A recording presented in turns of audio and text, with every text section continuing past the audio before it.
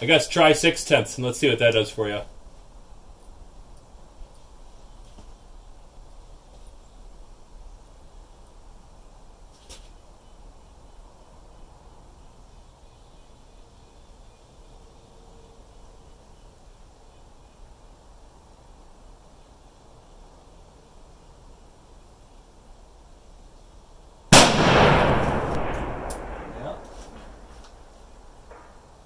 Nice.